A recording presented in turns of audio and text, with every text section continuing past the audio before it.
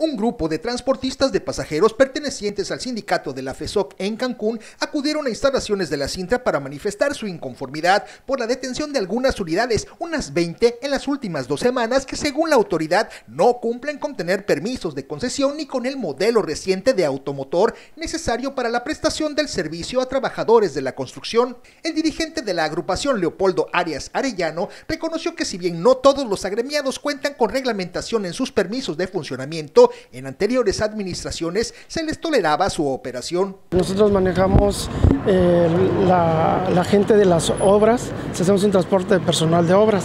¿sí? Ahorita pues eh, vamos a escuchar cuál es la, situación que tiene porque nos han venido eh, parando camiones. Nosotros tenemos años trabajando aquí en, en el estado haciendo este trabajo. Es un trabajo de este social, ¿verdad? Porque cobramos este, muy poco para, porque es la gente de la construcción. De acuerdo a lo comentado, son alrededor de 47 unidades que trabajan llevando obreros a Isla Blanca o al final de la avenida Guayacán y cobran 10 pesos por pasaje. Sin embargo, el alto costo de las multas que han estado aplicando de parte de la Sintra no les permite, dijeron, que los propietarios puedan renovar sus equipos.